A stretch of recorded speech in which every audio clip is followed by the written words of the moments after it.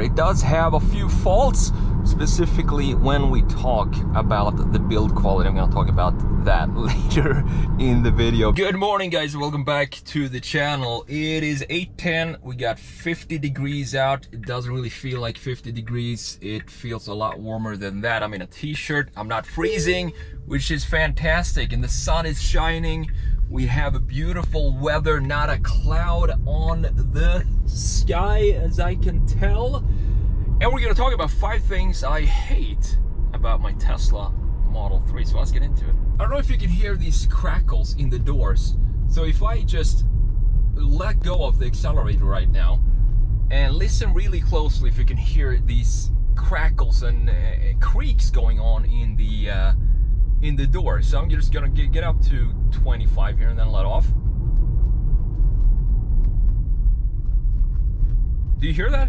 The whole car doors, something in the connection to the door is just making this like, it's almost like it's rubber on rubber noise.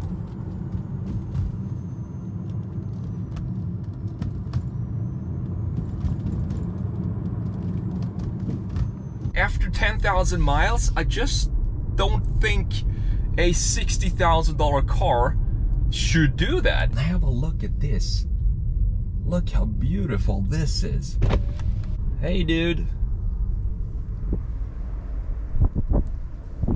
That is so cool.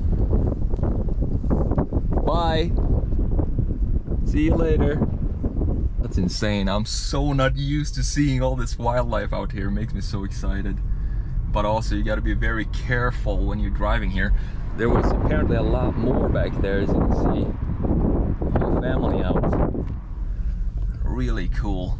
So we're gonna park up here and I'm gonna tell you more about uh, the other things that I really don't like with the Tesla Model 3. One thing I can't stand with the new software update, I, I, don't think I had this in my old Tesla, but that is when you're playing something, for example, and you have it in when, when it's uh, folded down like this, it's very hard to hit the timeline. Instead, you're hitting all other stuff, icons and so on, because this timeline just look at how tiny this is. This is the bar that you need to hit in order to get to, you know, fast forward or get to the point in the song where you want to go to. And it's kind of tricky to do that. I just think it would be a lot easier to just uh, have it be a little bigger and not make it so hard to hit the actual timeline and get to where you want to be in the song or the podcast. One other thing that uh, my wife Lindsay had had some issues with is connecting the app to the car. So whenever she goes to unlock the or goes uh, to the car, it should recognize her app and it also should unlock the car, but it doesn't do that. Most of the time she has to just pick up the app and open the app in the phone and then open it manually, which is kind of annoying when you've owned the car for 10,000 miles. You would think that it would start recognizing who the owners are. Apparently that's a uh, kind of a problem for a lot of people when you have several drivers onto onto the car. It doesn't recognize all the time when you're walking up to the car and then unlocks the car. You have to do it manually through the app. Another thing we need to talk about are these wheels. So these are the turbine wheels and as you can see they have all been severely dinged and uh, not to throw anyone under the bus here, but I didn't do any of those. I do fix every single ding. It seems to be apparently an issue. Uh, having these bigger wheels because they seem to hit curbs very easily and I feel like every every week I have to bring out my little can of the original paint for the wheels because I know that I'm gonna have touching them up every now and then pretty often and that's what I've been doing. Hopefully we don't get more dings on the wheels. I don't know. Uh, I guess I'm not too hopeful. Maybe we'll get a few more. But the thing is, good thing I bought a full little jar or can of this paint. So I have enough paint to uh, touch these up for the foreseeable future. I've heard that if you have the wheel caps, the I think the 18 or 19 inch Tesla wheel caps, they also have a lot of dings on them and because they stick out a little further. And I think it, these also looks like they kind of stick out a little bit more than I'm used to seeing on on wheels. I'm not sure if that's the case. All right, so talking about this interior, what I think about this interior is that it feels it feels a little cold and I would want to have not just everything being located and uh, situated within this display here. You have all the settings for the car except for drive and park and so on here in the display. It makes it a little bit inconvenient specifically when you're driving and want to go to a setting quick. You need to toggle around in here and figure out where it is and then you're bouncing around when you're driving on the highway. You can't really hit everything. So I want to have a few tactile buttons for the most important uh, settings or functions of the car. They did this update recently like when you it in drive here for example and we put it in indicator. Now you can move this around to different areas to whatever position you want. But still, when I turn this car, I want to have the display right here. I love the set, the layout of the new. Couple of Audis have that and also the Ioniq 6, the brand new one, Ioniq 6, has exactly the layout that I wish Tesla would have in their EVs as well. It has a more cozy, nice designed interior and it also has the big screens right here, which naturally when you're driving, and you put the indicator on, you don't want to look center. You don't want to look here to see the to see the camera. You actually want to look over there close to the mirror so you can have your peripheral vision also covering the blind spot more. It feels unnatural to move down here and look at the side camera. Okay, last but not least, this is a big one because uh, we've had this Tesla for about 10,000 miles now and it's been, it, it does have some problems quality-wise for sure. For example, when I first got the car, if you watched my videos, you remember that I had to fix the, the liner for the, for the wheel well right here because this was flapping around and was very loose. So I put some foam inside behind here to push it out so it doesn't stay loose and flap in like 45 miles per hour. That was the first issue I had to do. And then look up here. This thing is actually coming off. This this is out of out of alignment. This piece feels like it's just glued on here. You can see down here how it's coming off. This is another problem I recently discovered. I don't know if this is gonna fall off eventually.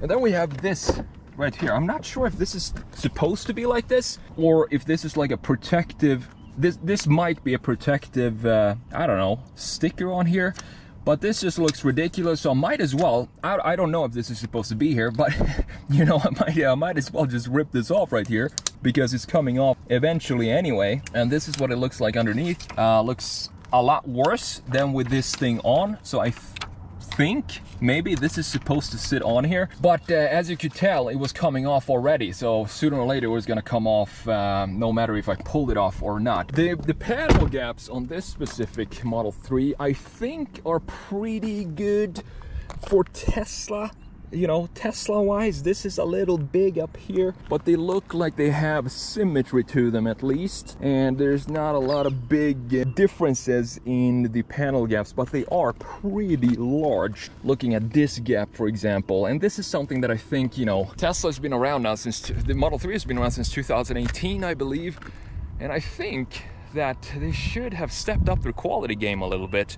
This is a 2022 model, so they had four years to uh, figure out the quality issues, but things like this is just not acceptable on a 60,000, 60, whatever we paid for the $65,000 car. It just feels very cheap. And I think the interior just adds to that. It just feels like uh, a uh, very, too, almost too simplistic interior that I thought I was gonna get used to after a while. I've been driving Tesla Model 3s for a long time now, but I still miss this homey feeling of the interior. And I wish that's something that will that they're gonna update in the next generation Model 3. And also, of course, the build quality needs to be a lot better. Another thing that's pretty annoying with Tesla is the charging. So when you back into a Tesla charger, the charging cord itself is so short that you need to get really close to the charging station itself. I can't tell you how many times I've seen people try this two, three, four times just to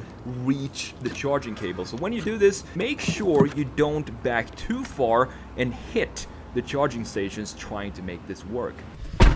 So those are just a few quality issues that I've noticed so far, but I'm sure, pretty sure there's gonna be a couple of more uh, during our ownership of this Tesla Model 3. Don't get me wrong, it's still a pretty fun car to drive, specifically the performance because you have all this torque instantly available to you. But does it feel maybe a little artificial? Yes, it does. It feels maybe like you're in a uh, inside of a video game. It's a little cold, the experience, which I'm sure a lot of you know by now, that EVs, they don't really have that soul that you have when, when you hear the engine revving and you, you engage with the shifter and so on. But other than that, it's a pretty comfortable car. Do more. I like that. That's what everybody should do. Do a little more of uh, what what you like to do. Just took the first one I, I found, and I guess this is Lindsay's cup. I like my cat better than most people. Pretty accurate.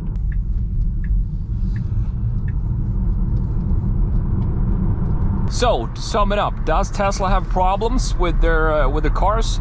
Absolutely. One, the build quality is the most important thing that they need to figure out but also the pricing. I think this is too expensive for what you're paying. Specifically the Tesla Model 3 Performance. Yes, it is a performance car, but I think they could reduce the price, specifically when you have an interior like this. I don't really see where the money is going, and it is an electric car, so it doesn't have the same amount of moving parts as uh, an internal combustion engine car. So I'm not really sure where the money is going, probably to development of some new, uh, some new products. But I think Tesla needs to really, I think they've been very comfortable for a long time.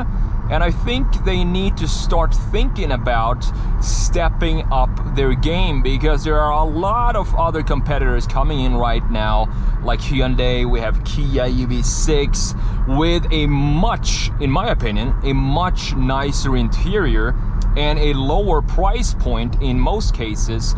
And also you have the same performance as the Teslas these days or even more. We also have Audi with a lot of EVs coming out, BMW. Not a fan of those designs, but BMW's in technology and interior design is pretty nice. So they really need to step up their game if they want to be competitive in this coming market. And that's my five, I think it was five, I'm not even sure, but my things about the Tesla Model 3 that I really don't like. Let me know if you have additional comments to this. I'm sure some of you are gonna get a little agitated by talking uh, negative uh, things about Teslas, but that's okay. That's how you make products better. You point out the areas where they need to improve. Thank you for watching and I will see you in the next video.